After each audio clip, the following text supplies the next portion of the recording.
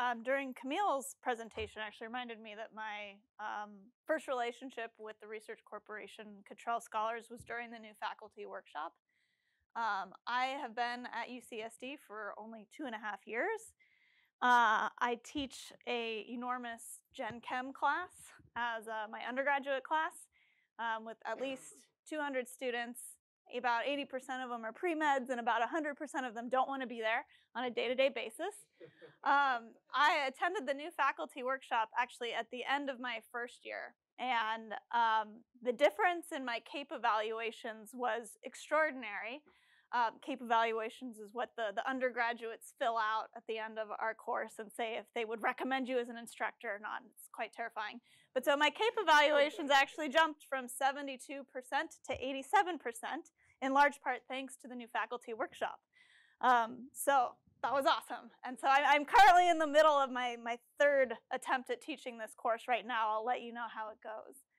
Um, anyways, so um, I had the opportunity of attending the chemical machinery of the cell SciLog this past October, and I was awarded a grant through the Betty and Gordon Moore Foundation. Um, that's what I'm going to talk about um, very briefly today.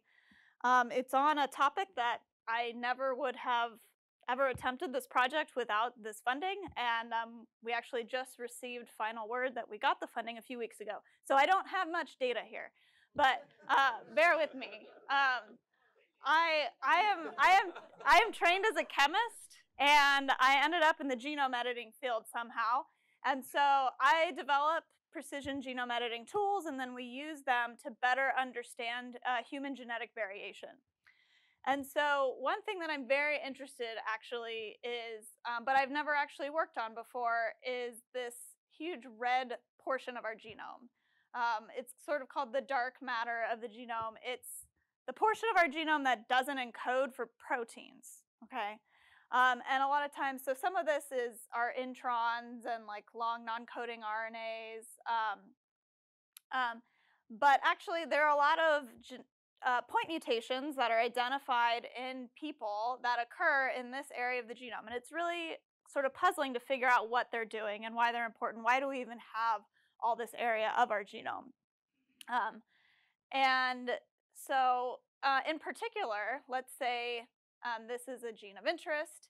Um, you can have these mutations occurring completely outside of the gene of interest, maybe even in the middle of intronic regions of neighboring genes. And it's actually been shown that this will affect expression levels of this particular gene, even though sometimes they're tens of thousands of base pairs away. Okay. Um, and so as I mentioned, I develop um, these new precision genome editing tools that allow us to introduce specifically point mutations with very high efficiency. So um, a lot of people have heard about CRISPR-Cas9, um, and this has certainly revolutionized the field, but the way that these tools work, and these are the tools that most typical scientists know how to use, simply cut the DNA at a particular site and then try to manipulate DNA repair to introduce the point mutation of interest. And they're incredibly inefficient. And so the tools that we develop can actually introduce point mutations with about 100 fold higher efficiency than just traditional CRISPR-Cas9. Um, and so basically what we wanted to understand is how are mutations in these non-coding regions that are tens, sometimes hundreds of thousands of base pairs away from a particular gene of interest uh, modulating expression levels. Um, and so, you know, at the chemical machinery of the cell, SciLog, um, I met with a bunch of people from a variety of different backgrounds, and we had some really awesome discussions. And one of the sort of topics that was permeating um, the, the conference was this idea of the 3D structure of the genome. And so um, if you kind of pull the DNA, your ge genomic DNA apart, it's, it's enormous. It's really, really long, and it has to compact into your nucleus. And, um, and it's not random. So it folds up in particular three-dimensional structures and these are usually, if you have a ton of different cells and you're looking at how the genome is sort of folded up across different cells, it's, it, it happens, it's not random, it's over and over again, it's, it's similar in each cell. Um, so the 3D structure of the genome is, is not random. And also you can see somewhere like this, you can have two areas of the genome that are, you know, tens or hundreds of base pairs apart from each other in terms of the actual sequence of the genome, but they're physically very close together.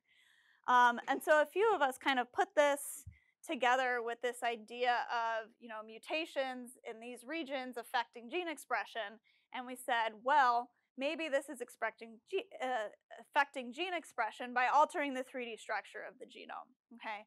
Um, but again, how is this happening? How would mutations in these non-coding regions affect folding up of the three-dimensional structure of the genome? And so uh, we focused on um, these regions uh, called ultra-conserved elements. Um, and so here's an example of one. Um, there's this ARX gene, which is a transcription factor, and it's involved in uh, neurodevelopment. And there, and shown in blue here, are these four ultra-conserved regions. And so they vary um, in distance from this protein of, or this gene of interest. Um, you know, some of them are very, very close. This one's very, very far away. But what they all have in common with each other is that they're in non-coding regions of the genome, not even in intronic regions. And the sequence is 100% conserved between human, mouse, and rats. Okay?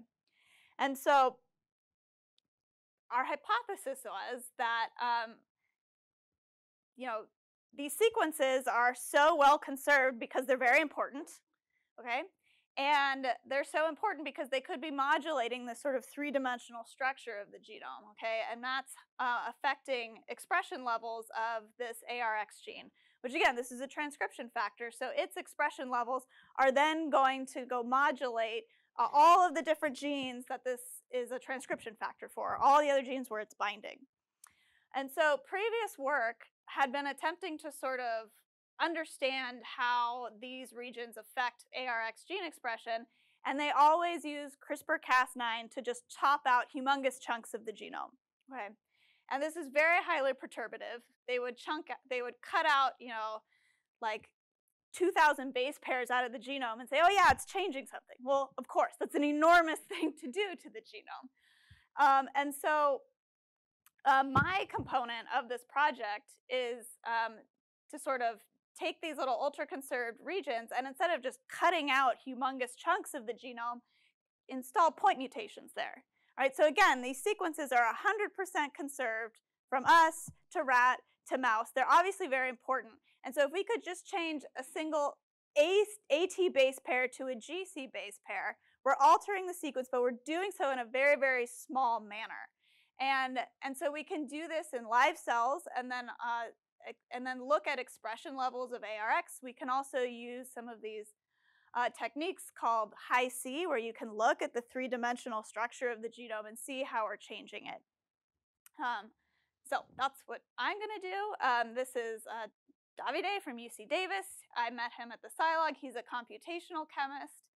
And so what he's going to do is uh, take the point mutations that we're introducing in our lab, and we can see, oh yeah, this is modulating expression levels he's going to do this coarse grain uh, modeling of the sequence of the genomic DNA and see how point mutation would modulate the 3D structure just from a purely sequence perspective.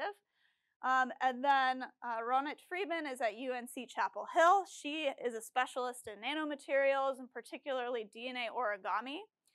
And so what she can do is take, let's say this is a piece of DNA. Um, this is shown circular, but just bear with me here. Um, she can design these sort of staple strands or tiny pieces of DNA. We call them skewers also. And using um, base pairing, they can skewer the DNA into a particular 3D structure by sort of stapling the sequence here to there.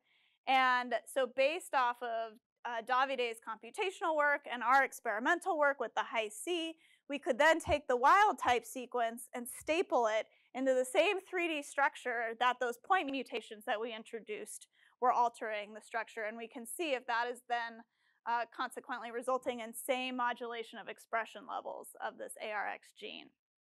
Um, and so with that, that's, that's it. That's what we're doing. We haven't started yet. Um, but I have a, my grad student Ashley is super excited to start. Um, and again, this is you know it's something that I've always thought about are these non-coding mutations, and I really wanted to dive into them and understand them, but um, it's not in the area of my expertise, so I've never done it before. And so this is a totally new area, and I think it's going to be really awesome. And thank you for for your kindness and your and your money, which is coming in soon. And hopefully, I'll have awesome updates for you by the end of the year. Certainly by the next dialogue.